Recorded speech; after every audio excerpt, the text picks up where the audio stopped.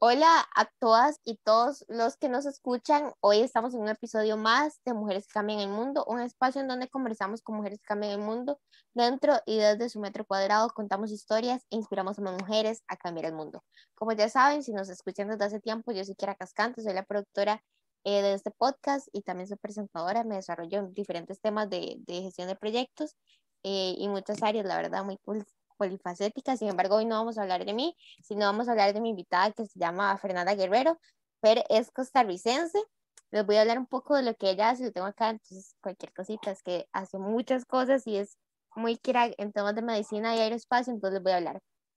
Eh, Fer cuando estaba pequeña ella dijo que quería ser una científica, entonces actualmente es una estudiante de medicina y cirugía, ¿verdad? En eh, Costa Rica. Correcto.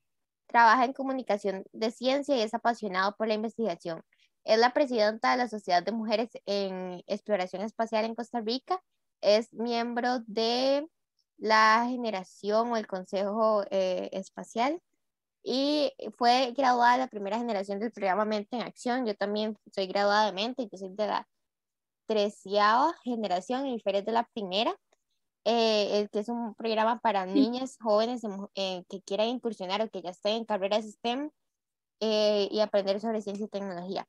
Cabe recalcar que el STEM también lleva el tema del arte porque incluye mucho diseño, cualquier cosa, si no, no sabía. Luego es parte del grupo de mujeres en inteligencia artificial y robótica de Alemania. Es miembro de la Federación Internacional de Astronáutica y es un miembro de, eh, de, un grupo de mujeres en STEM en Costa Rica que se llama Rocker Girls. Tiene experiencia como presidenta de, de SWICE, que es la Sociedad de Mujeres en Exploración Espacial.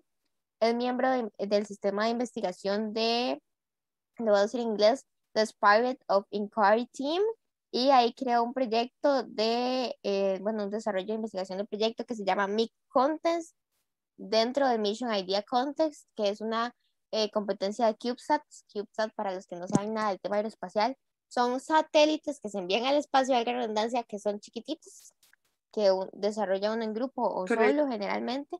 Eh, por si no saben del tema aeroespacial, ¿verdad? Luego está, ella tiene experiencia en la Asociación de Estudiantes de Costa Rica en temas médicos y em, sobre temas de investigación, intercambios de investigación, donde representó a la Federación Internacional, bueno, representó en, perdón, la Federación Internacional de Médicos, eh, bueno, estudiantes de medicina, que es una asociación. También fue profesora de literatura en el Santuario de Costa Rica y fue presidenta de Terafem, que es un grupo de mente en acción sobre un proyecto de la primera edición. Trabaja en áreas de estudio como la medicina y la, eh, la ética médica, investigación, neurociencias, eh, genética, eh, ciencia, diseminación científica es. Eh, eh, scientific dissemination es como divulgación científica. Ah, divulgación científica. de divulgación científica. Ese es un nuevo vocabulario ah. para mí, sorry.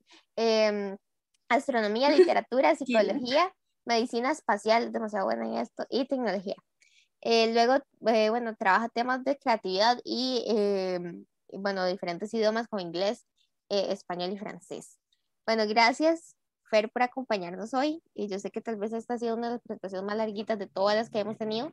Eh, igual, eh, Fer de verdad sabe muchísimo y hoy nos va a contar un poco de su historia.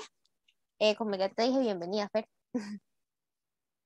bueno, Fer, primero... aquí, muchísimas gracias por estar acá, ¿verdad? Disculpa por interrumpirte, pero de verdad estoy demasiado feliz por estar acá. Súper contenta. Gracias más bien por, bueno, por desempeñarte en estas áreas y, ¿verdad?, ayudarnos a informarnos y tomar el rol participativo. Y con eso te quería preguntar cómo inició Fer en temas de todo esto que hace. Yo sé que eh, ahí decía como, eh, yo quería ser científica, pero quiero que nos cuentes cómo ha sido tu historia desde el inicio, eh, qué te ha motivado y cuáles retos has tenido. Bueno, este, todo comenzó desde pequeñita. Eh, bueno, una historia un poquito personal, digamos. Eh, desde pequeña a mí siempre me interesó la ciencia, yo pasaba preguntando el porqué de las cosas, es sumamente importante. Yo siento que todos los niños nacen científicos y un científico simplemente es un niño que se negó a crecer, como dijo Neil deGrasse Tyson, pero realmente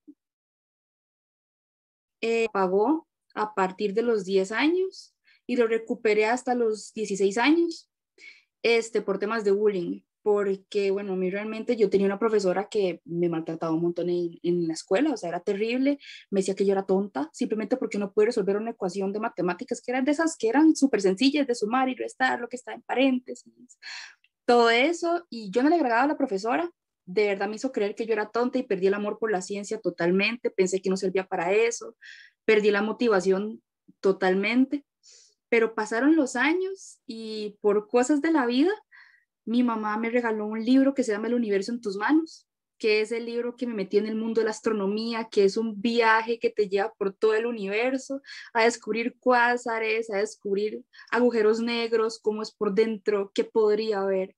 Y ahí, ahí resurgió el amor por la ciencia y poco a poco me fui involucrando. Este, mi, mi pasión por la medicina inició porque perdí a un familiar, perdí varios familiares por negligencia médica doctores que nunca quisieron dar un diagnóstico correcto y ahí fue donde yo me di cuenta que mi pasión más allá de la ciencia, que ciencias de la salud es increíblemente amplio, era que por medio de la ciencia yo puedo ayudar y descubrir cosas nuevas para poder ayudar a los demás. Entonces ahí fue como surgió todo desde la infancia, se apaga un tiempo, pero el fuego siempre vuelve a iniciar y de la manera más increíble que fue por medio de un libro. Entonces básicamente así inició todo parece súper chiva y esto que dice de cómo a ciencias médicas es súper amplio y, es de verdad que todos debemos de saber de esto porque es cómo funciona nuestro cuerpo y qué está pasando. Yo la verdad esto, últimamente he hecho varios cursos sobre eh, temas de neurociencia y temas de ciclo menstrual, porque para mí era súper importante y ahorita Fío me estaba, eh, Fío, Fer, sorry, Fer me estaba comentando algo súper importante que yo no sabía y también es importante así como que buscar los por estos temas. Pero este, dentro de tu proceso, porque verdad es un liderazgo increíble en, todos en todos esos temas que mencioné antes cuando la presenté, eh, fuera de que te sentiste mala para la ciencia, que a mí ya también me pasó, toda mi vida creí que era mala. Para las matemáticas no, sabía que era buena, pero no me gusta.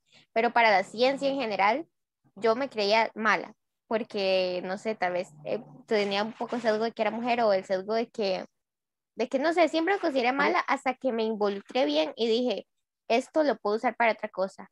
¿Cómo ha sido tu proceso? Si has tenido algún otro reto fuera de que vos pensaste que era mala y esa profesora, ¿cómo, cómo ha sido esa hora de enfrentarte con esos retos? Este, vieras que retos han sido demasiados. Este, bueno, Em, bueno, vamos a hacer una introspección un poquito muy personal, discúlpame si me pongo muy personal, las personas que lo están escuchando, siento que son cosas importantes de hablar y no sería bueno de mi parte y como científica guardarme las cosas, siento que es importante divulgarlo. Eh, realmente mis, los mayores retos ni siquiera me lo han provocado hombres. Bueno, el machismo es algo presente, ¿verdad? En absolutamente todo.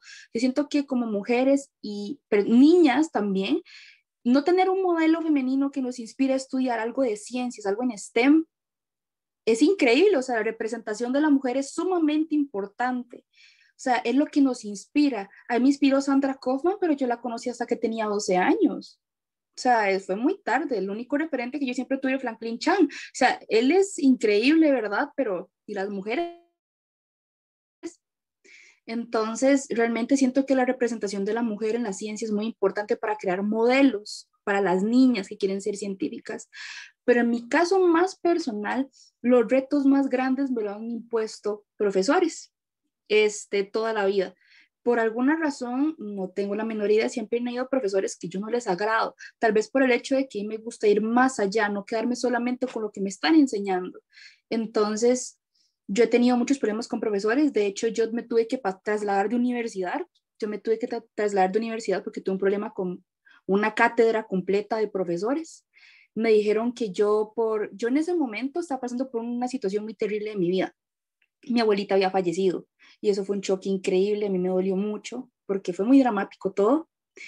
Este, y yo, yo, yo tenía muchos ataques de ansiedad, Ahí fue donde yo aprendí más de salud mental, convivencias propias. Fue cuando yo aprendí que la ansiedad no es simplemente me siento mareado, me siento malo, tengo mariposas en el estómago, no, es terrible. Yo andaba en una época donde yo tenía tanta ansiedad que me da horror dormir, o sea, el hecho de que yo tuviera que apoyar la cabeza en la almohada era caótico, pero yo sentía que iba a morirme.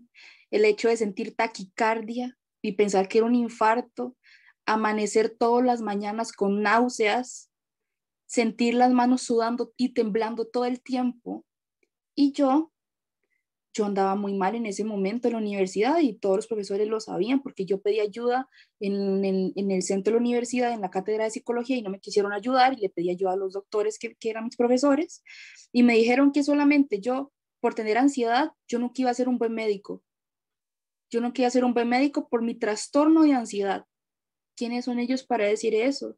Y a mí me parece increíble que a veces nuestros mayores referentes y los más cercanos son los que más daño pueden hacer. A mí eso me rompió. Yo terminé en terapia psicológica por eso, porque yo dije, de verdad, medicina es lo mío, lo que a mí me apasiona. Fue terrible, pero por dicha todas podemos seguir adelante porque siempre encontramos personas que nos dan esa luz todo el tiempo, pero ese ha sido uno de mis mayores retos, que personas a las que yo admiraba y eran mi referente académico me dijeran que yo nunca iba a ser doctora ni buena cirujana, simplemente por creíble. O sea, ese ha sido uno de los mayores retos, además de todo el machismo, ha sido eso. Y es muy personal y es algo de lo que casi no se habla, porque el abuso de los profesores en las, en las cátedras de estudiantes de medicina es terrible y nadie habla de eso. Entonces sí me parece importante mencionarlo.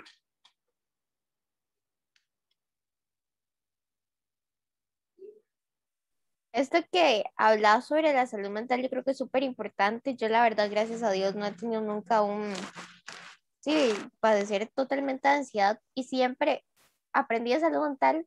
Voy a contar un poco aquí en highlight de cómo aprendí a salud mental. Cuando yo em, siempre, bueno, me preocupé por pues tener bien mi cabeza, pero cuando ya yo estaba como hace años, como dos, tres años, se empieza a hablar de salud mental porque es importante.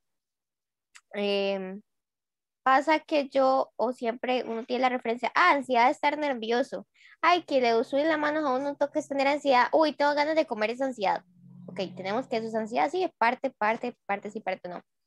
Luego, eh, yo soy eh, como una de las promotoras de la política pública de salud mental para, para, para jóvenes en, en Costa Rica.